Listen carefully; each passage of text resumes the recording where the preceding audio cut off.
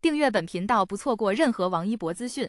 金鸡奖公布提名名单后，立即激起千层浪。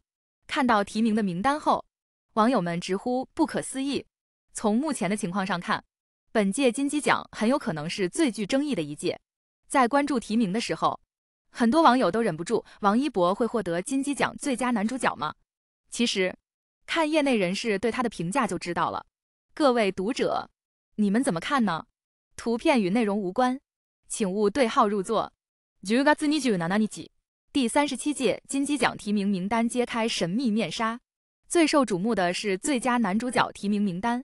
王一博凭借《热烈》提名，沈腾凭借《飞驰人生二》提名，林保怡凭借《白日之下》提名，金巴凭借《雪豹》提名，彭昱畅凭借《我们一起摇太阳》提名，雷佳音凭借《第二十条》提名。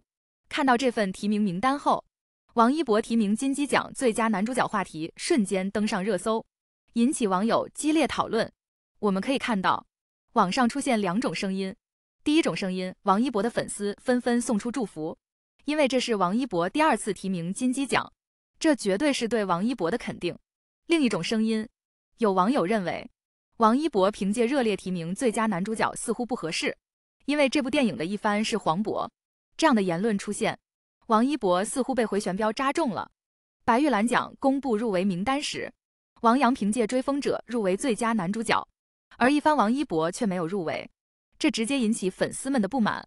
幸好剧组及时做出回复，偷奖行为并不存在。《追风者》官方给王一博和王阳都申报白玉兰奖，可是，在第二轮投票中，王一博没能入围。也就是说，最终的名单并不是演员或者剧方可以干涉的。我们可以看到。黄渤一番没有提名，王一博却提名，引起巨大的争议。粉丝们立即开始解释。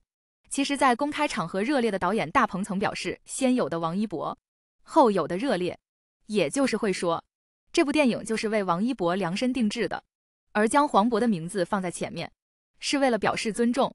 当事情解释清楚之后，网友们开始讨论王一博获得金鸡奖最佳男主角的可能性有多大。我们可以看到。张译凭借《悬崖之上》获得第三十四届金鸡奖最佳男主角，朱一龙凭借《人生大事》获得第三十五届金鸡奖最佳男主角，梁朝伟凭借《无名》获得第三十六届最佳男主角。从获奖名单上看，我们可以确定的是，最终获奖的作品一部要有传播度和热度。在本届提名名单中，林保怡和金巴的热度和关注度比较低，所以获得最佳男主角的可能性不大。而剩下四部电影都有一定的影响力和热度。如果从票房上看，沈腾和雷佳音获奖的概率更大。毕竟马丽已经凭借《第二十条》获得百花奖最佳女主角。但从业内人士的评价上看，王一博的获奖概率还是非常大的。业内人士对王一博的评价是：我觉得最惊喜的就是王一博的表演。我觉得他的表演让我觉得不是在表演，而是在呼吸和生活。其实，在表演领域有一个术语叫“本色当行”。就等同于这个角色和表演中构成一种非常默契的一个结构关系。从业内人士对王一博的评价上看，他们认为王一博的演技符合角色本身，是认认真真的研究角色，而不是演角色。这两年，王一博有多部作品与我们见面，王一博的进步是肉眼可见的。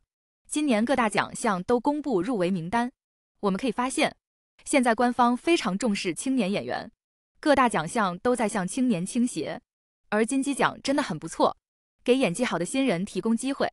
综合考虑，王一博获得金鸡奖最佳男主角的概率非常大。各位读者，你们怎么看呢？节目最后，希望小伙伴们订阅本频道，本频道专注王一博的新闻资讯。